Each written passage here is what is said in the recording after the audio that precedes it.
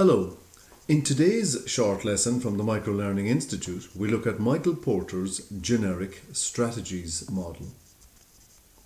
These three generic strategies were first set out by Michael Porter in his book titled Competitive Advantage Creating and Sustaining Superior Performance.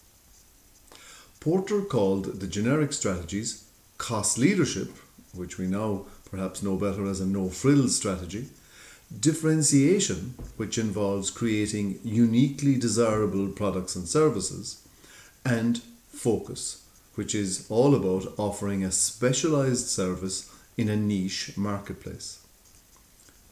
Porter then, then subdivided the focus strategy into two parts cost focus, which again is focus based on the cost leadership philosophy, and differentiation focus, which is focus but with differentiated features.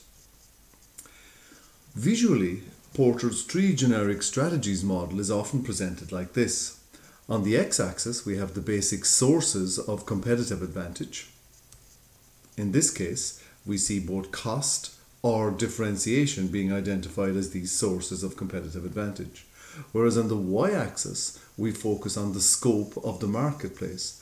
Are we offering our products and services to a narrow market or are our products and services available to the entire marketplace? Let's look first at the cost leadership strategy. And this strategy involves being the leader in terms of cost in your industry or marketplace. Being amongst the lowest cost producers is not good enough as that leaves the company open to attack by others who undercut prices and block attempts to increase market share.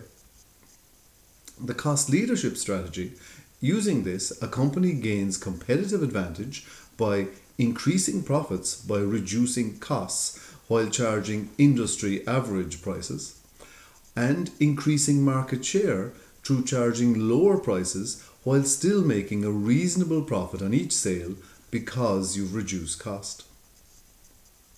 Companies that are successful in achieving cost leadership usually have access to capital needed to invest in the technology that will bring down unit cost, very efficient logistics, and a low cost base in terms of labour and material and facilities infrastructure, and a way of sustainably cutting costs below those of other competitors. Next, let's look at the differentiation strategy. And differentiation involves making products or services different from and more attractive than those of your competitors. This will typically involve features, functionality, durability, support, and also brand image that customers value. To make a success of a differentiation strategy, organizations need good research, development, and innovation within the organization, an ability to deliver high quality products and services, and effective sales and marketing teams so that the market understands the benefits offered by the differentiated offerings.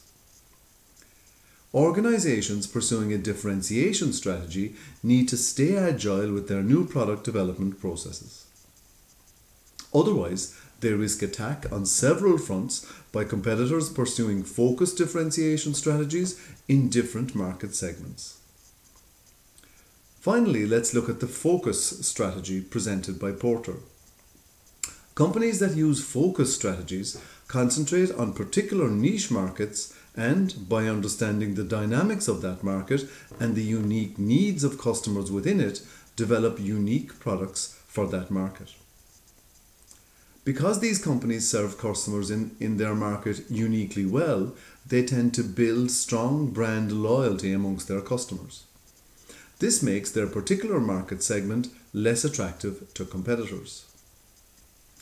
The key to making a success of a focus strategy is to ensure that the company adds something extra as a result of serving only that market niche. It's simply not enough to focus on only one market segment because your organization is too small to serve a broader market. Thank you very much for watching this short tutorial from the Microlearning Institute on Porter's three generic strategies.